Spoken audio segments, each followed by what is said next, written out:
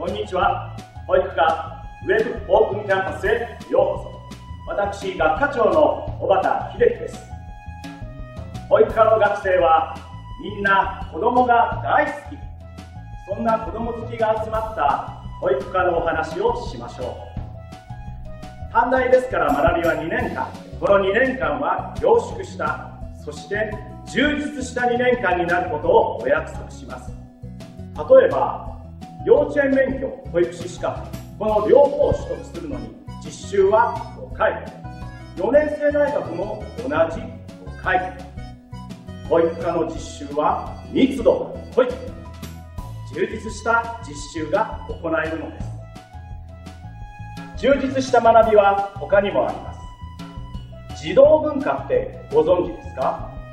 人形劇折り紙表現遊び。保育課はそれぞれ専門家による必修授業。それだけでは物足りないという人のためにさらに深い学びができる選択授業も用意しています。ピアノだって充実しています。一人一人のレベルに合わせた授業2年間で必ず弾けるようになります。子供の歌の伴奏ができるようになるだけではありません。ピアノで子供と遊べる力を身につけるのです。保育科の学びの特徴もう一つは地域で学ぶ。学生は市内の子育て支援施設に出かけていき子育て支援を体験的に学ぶのです。それだけではありません。学内にある子育て広場そこに近隣の親子に遊びに来ていただき学生もそこに参加をします。これらすべて必修授業として行っています。聖徳大学短期大学部保育科で学ぶと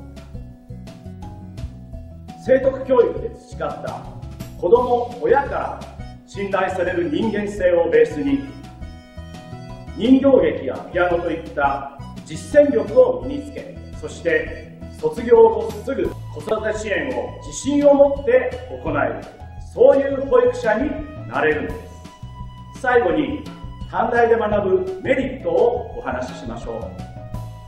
卒業後つまり2年後に就職するだけがキャリアだと思っていませんか？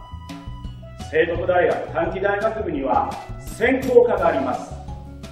保育科を卒業後1年間専門的に医療保育のことを学び小児病棟などで活躍する学生もいます。また聖徳大学の3年時に編入学をし小学校教諭免許などを取得する学生もいます。